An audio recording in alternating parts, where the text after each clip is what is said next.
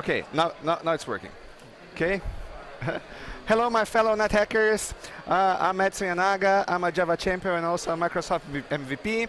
I'm here today to interview a great friend, Clément Escoffier. Uh, did I say it right? Yes. Okay, because he's French. I don't know how to pronounce these French names correctly.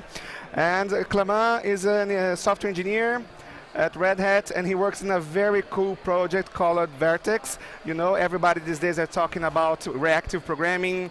How can we create distributed systems in an effective way? How can we create these systems in a reliable way, a reactive way? So uh, uh, I guess one of the questions that everybody's asking, and maybe we could answer, try to answer that, what in fact is reactive programming?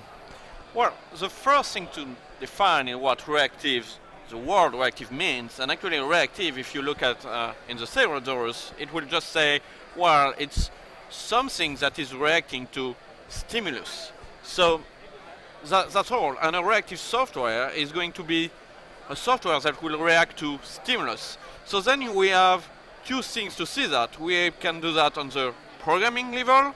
So that will be reactive programming that looks like a bit, it's a subset of functional programming where you will um, um, handle streams and you will observe streams and every time that you have an event, so a stimuli inside these streams, then you will react to that and produce other streams. So that's one way of doing that. So we have Rx, we have Spring Reactor to do that.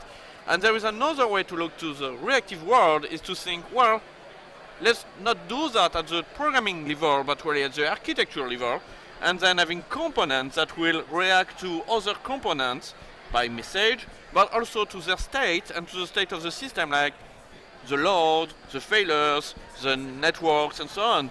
And here, that's actually what we call reactive system is this, and it's going to be dynamic, it's going to be like a living entity. Something fail, it will react. A request arrive, it will react. Where it starts to be a bit more confusing, so we have reactive programming and reactive systems, but you can implement reactive systems using reactive programming. Wow, mm -hmm. that starts to be a bit weird. But a reactive system will react to message, but if you consider the sequence of message, you have a stream.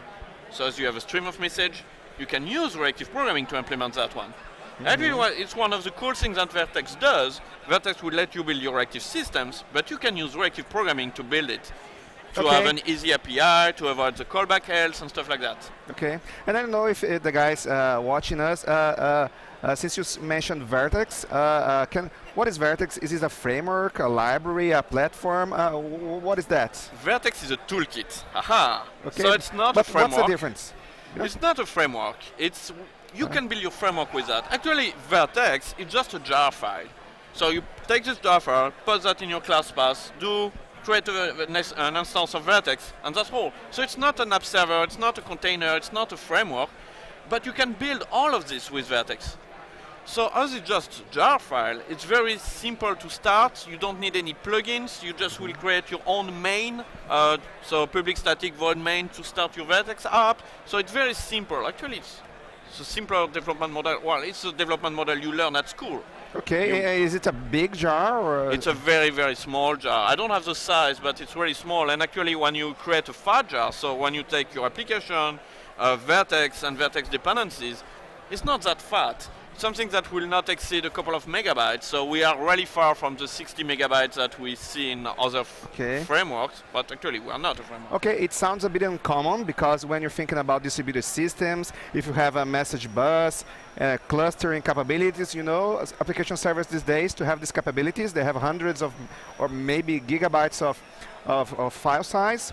So how uh, it's pretty amazing that you can do all of this. Uh, in fact, is it really possible? Does it work? Uh, yes, it do. It does. Yeah. It does work. Uh. It does work pretty well. It's actually pretty fast. It's it's built on top of Netty, and it provides some really nice API on top of Netty, so you don't have to deal with Netty yourself. We provide a higher level API, and it just out of Netty you can build everything you said. So the clustering, actually, well, we have TCP connections between our nodes. The event bus is just this.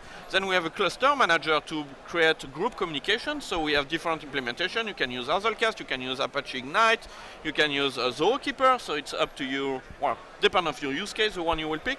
But that's all. And when you package all of this, then you have a mm -hmm. fat jar that is not that big because, well, it's all based on this low level basic building blocks. Actually, that's something interesting. Vert.x is not an all-in-one solution. It will just provide you the building blocks, and it's up to you to build what you want out of that. So in terms of building blocks, we will have HTTP client, server, TCP client, server, asynchronous uh, DNS lookup, event bus, clustering, round robin, failover, and so on and so on and so on. So everything you need to create a really, really cool app that will be fast, resilient, and scalable. Okay, uh, because uh, I've seen a bit of reactive code, uh, uh, especially on Vert.x, and it seems to me that uh, when we were back to the 80s or 90s, when we used the, like callback-based programming. You just have events and you pass a callback to be called when something happens. And I don't know if it's natural these days because most of the Java developers, they are used like to imperative programming and we have a lot of these blocking APIs. I don't know, does Vert.x has a, a, a role in this world? C can I still be using these old libraries that I use every day with, with Vert.x? So one first thing is um, you're not old enough, but it was not in the 80s, but more or less in the 60s that we are okay. already using callbacks. so imagine that. So yes, this callback style actually just how we implement Vert.x, but we provide some other style to develop that. We provide futures, Vert.x futures, where you can compose them and stuff like that, and we provide Rx support, where you can really use well, all the RxJava and stream and so on. So you don't have to use the callback here. But what is very cool is Vert.x to be fast is using a non-blocking development model, but most of the libraries today that we found are blocking. So like JDBC, like well, file access, input stream, and so on.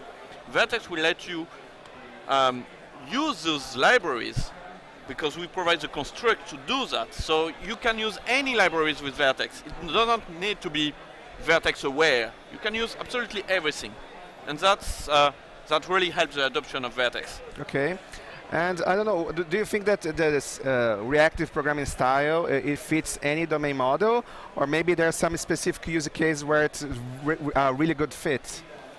Well, it has some use case where it's much better than uh, the imperative model. Okay. Um, there is obviously use case where re the reactive model doesn't really make sense or it's not natural. It's more natural, like well, batching and stuff like that. You don't necessarily want this. Um, but for every application where uh, you you will receive requests, uh, so messages, you have to handle that. Then the reactive programming model is definitely what you want because it's it makes such kind of application really really easy to to develop. Um, speaking about history, this is very similar to what actors and agents were doing during the 60s. So actually, reactive is not new. It's really? very old. It's actually oh, very, very old. I thought it was a new concept that just arrived. Well, you know, we just rebrand stuff and recycling okay. ideas and stuff like that. But actually, all the concepts that we have behind Reactive, something really old and older than us. Uh, okay. Uh, well, well uh, maybe mainly because that uh, distributed systems theories has been like uh, around for many years, but just about these days, people are talking about distributed systems. Uh, it used to be just a monolith before. Well, actually, we, we may start, why at the beginning we decided to do distributed system? Because, well, seriously, a non-distributed system is much easier to do and to build. It's easier to debug and so on. So, but why in the 60s they say, well, let's do distributed system. Let's do the painful way while the easy way will work. But at that time, the um, power and the, yeah, the CPUs and the memory we have was too limited. So instead of trying to build, build, build really great computers mm -hmm. and mm-hmm. powerful computer, it was impossible. It was too expensive. Mm -hmm. So we say, well, let's try to build smaller one and make a network out of that. Okay. Um, two days, so 50 years later, more or less, um, we're almost less, more or less in the same paradigm. So before we were using mainframe and big computer, and now we start using small one because mainframe are just too expensive. And the advantage of this is that it gives you a synchronous evolution of all your nodes. So you don't have to synchronize everything and to deploy everything and so on. You can have this will be released next week, this will be released in two weeks, this is already running and makes this evolve, evolution working and so on. So give you a flexibility, give you a great flexibility. But, well, flexibility comes with a huge risk yeah. and it's distributed system so we know that it's going to fail at some point it will it will fail okay. we just don't know when while we know that it's going to fail in production but we don't know well when so you need to be prepared to handle those failures okay. and again Vert.x is really good for this Does it have, because people are talking about uh, Hystrix for fallbacks, handler, these days in distributed systems. Uh, Vert.x does that too? So Vert.x provides a uh, different way to handle resilience and to implement resilience. The first one is the world development model as a concept of failures, a first-class citizen. So you can't, you will have to handle your failures. Uh, the second thing is that we uh, can do, uh, we can deal with timeouts too. But again, timeouts doesn't mean that the operation has failed. It just means that something bad happened, but the operation could have been uh, could have been a success. And we also have circuit breakers. So you could use Hystrix, you could use any circuit breakers. We also provide one uh, that fit in the Vert.x execution model. So a single threaded event loop and stuff like that. It's a very powerful uh, circuit breaker that provide just enough features that you need. Um, if you really need more, you can use Hystrix. We provide everything to use Hystrix too. So it's up to you to, to use the one you want.